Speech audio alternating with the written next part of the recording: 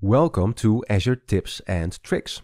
In this episode, we'll use the Azure Cloud Shell in an article on Microsoft Docs. Here we are in Microsoft Docs. Microsoft Docs has great tutorials for Microsoft technologies, including Azure, like this one for creating an Azure Storage account. These tutorials have steps that you can try to follow along and do something like create a storage account. And I want to use the Azure CLI steps. Let's see. It says that I can run the Azure CLI commands from a local CLI or from the Azure Cloud Shell in the Azure portal. Okay, let's take a look. Here is the first command to try out. Instead of using a local Azure CLI, I'll use the Cloud Shell here.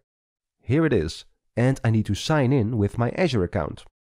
Alright, here is a fully featured Azure Cloud Shell, right here in Microsoft Docs. Cool. So now let's find a command to try out, like this one, to create a new resource group. I can copy it from the tutorial. Okay, and then just paste it here, like this. And now execute it. There it goes and it has created a new resource group in my Azure subscription. Very cool.